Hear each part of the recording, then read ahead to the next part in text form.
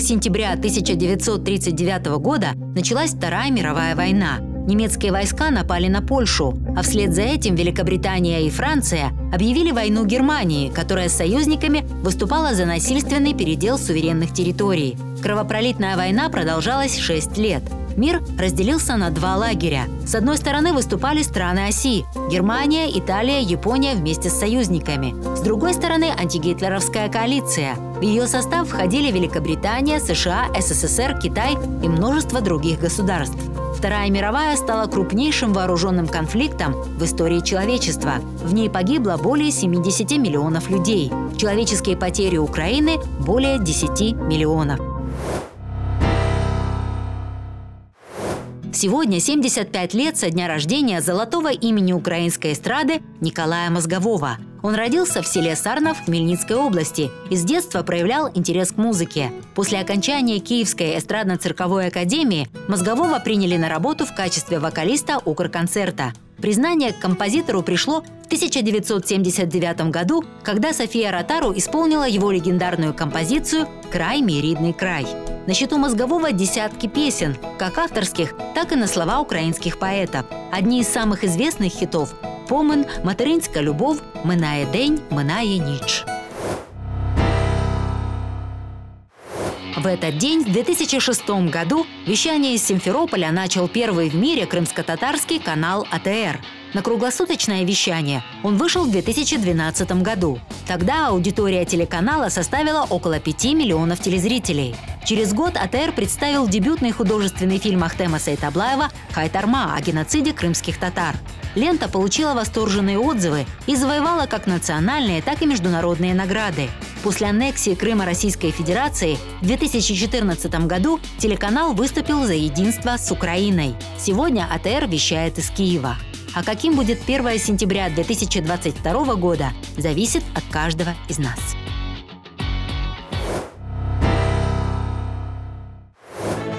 По всему миру появляется все больше улиц и площадей, названных в честь Украины. Так за рубежом увековечивают славу и доблесть нашего храброго народа. В американский городской словарь сленговых фраз даже внесли слово «Ukraine». Мир понемногу становится заукраиненным, и это прекрасно.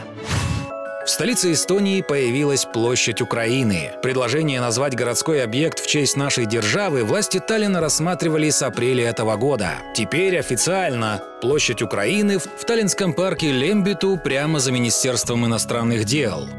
Таллин считает важным оказывать поддержку Украине, которая сейчас воюет за всех нас. Поэтому символическому месту в центре Таллина мы дали название Площади Украины. Мы превратим площадь в городской символ нынешнего упорного сопротивления Украины и защиты своей независимости. Мадлей Липпус, вице-мэр Таллина.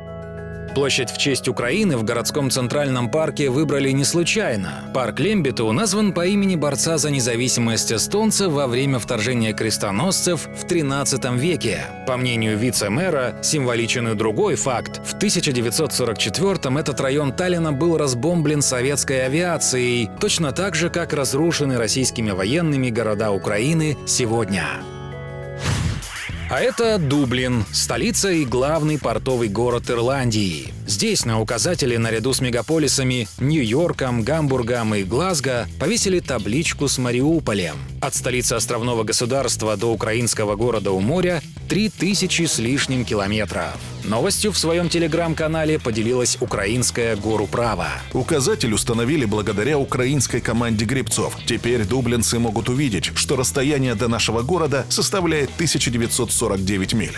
Указатель разместили на территории клуба гребли имени Святого Патрика. В первой после пандемии морской регате Дублинского клуба принимали участие и украинские гребцы. Организаторы отдали дань уважения отважному народу в войне с агрессором. Отныне на буе клуба на почетном месте красуется табличка с городом Марии. Ирпень и Майами станут городами-побратимами. Город-герой Украины и американский мегаполис в ближайшем будущем установят постоянные дружественные связи, будут знакомиться с жизнью, историей и культурой друг друга. Подробностями городские чиновники поделились на официальном телеграм-канале. Соответствующее решение о таких намерениях мы приняли на сессии Горсовета. В Майами такое же решение было принято в конце июля. Впереди у представителей власти подписание соглашения о побратимстве строительстве, непосредственное сотрудничество с мэром Майами Фрэнсисом Суаресом. В 2018-м Ирпень уже стал побратимом другого американского населенного пункта, расположенного на озере Мичиган, города Милуоки. В исландском Рейкьявике площадь назвали Киевской, в литовском Вильнюсе появилась улица украинских героев. В норвежском Осло есть Украинская площадь. Самый большой бульвар в Люксембурге теперь называется Киевским, а в албанской Тиране – улица Свободной Украины. Площадь с таким же названием теперь и в шведском Стокгольме, а в столице Латвии Риге улицу назвали в честь украинской независимости. По всему земному шару власти городов посылают четкий сигнал поддержки украинскому народу и напоминают миру о храбрости наших соотечественников.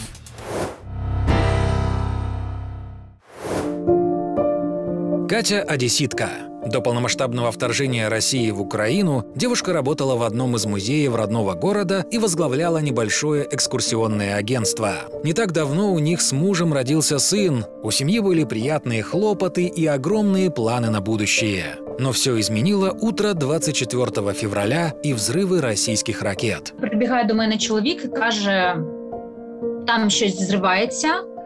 Е, Він людина дуже стресостійка і дуже спокійна. Тому, глядячи на нього, я зрозуміла, що там щось дійсно відбувається страшне, тому що він був просто дуже знервований, дуже стривожений. Первое время, вспоминает Катя, было только непонимание и страх. Не знали, що робити, але щось робили просто щоб. е, Здавалося, що ми якось контролюємо ситуацію. Ми почали прибирати, збирати речі, думати, куди їхати, не їхати. Несколько недель Катя оставалась в Украине, но потом поняла, что терпеть взрывы и воздушные тревоги больше нет сил. Сестра чоловіка їхала у Молдову, і в мене було три години. Просто щоб вирішити, їдемо чи не їдемо. І за ці три години було все: і сльози, і істерики, С 24 февраля в Молдову прибыло более полумиллиона человек. Многие двинулись дальше, но большая часть осталась здесь. І ми просто спостерігаємо, що потік навіть не то, що не скорочено, а збільшується. По Молдові йдуть е, громадян України, які живуть у південних областях України, тобто Одеса, Миколаїв, Херсон. В Молдове украинские переселенцы не могут оформить временную защиту. Такого статуса здесь попросту нет. Многие украинцы приехали сюда по безвизу, но они имеют право пребывать в стране и по истечению трех месяцев. Зараз, якщо людина хоче залишитися в на певний час, особливо реєструватися не треба Бо поки в- у нас в Україні діє стан надзвичайний надзвичайний стан, то дозволили залишатися українцям. А вот чтобы легально устроиться на работу, нужно получить статус беженца.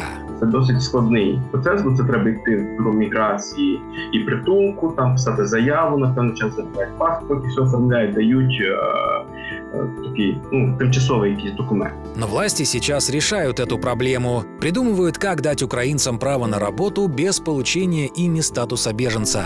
Катя сейчас живет в городе Унгены на границе с Румынией. Свое жилье она арендует, но хозяйка сдала квартиру со скидкой, когда узнала, что Катя из Украины. Я кажу, ми будемо платити, це не проблема. Але вона на- наполягла, щоб ми платили пів суми, половину. Тобто люди дуже, дуже чуйні, дуже так сердечно віднеслися до нас і зрозуміли всю ситуацію, яка в Україні. Многие местные помогают украинцам с жильем, селят в своих домах или отдают пустые квартиры. Также можно арендовать жилье через специальные сайты. Тогда власти несколько месяцев будут компенсировать расходы на квартиру. В больших городах есть специальные центры для переселенцев. Там украинцы могут временно остаться, пока не решат, что делать дальше. Украинцы могут получить и денежные выплаты. Их, как правило, выдают различные международные организации. Є сайт допомога МД, допомога Гов МД. Там можна було зареєструватися. Ми це зробили ще в квітні. 2200 лей на чоловіка на, на одну людину. Причому не має значення вік. В Молдове украинским переселенцам, если они не получили статус беженцев, нельзя устроить детей в школы и садики. Но власти пытаются решить эту проблему. Деякі э, весною можна йти до шкіл молдовских и там мать статус слухача. Катя сейчас занимается ребенком, а еще продает вот такие красивые сумки. На вырученные деньги планирует купить еду, привезти домой и отдать украинцам, которые в ней нуждаются. Это, говорит девушка, самое малое, что она может сделать для Украины.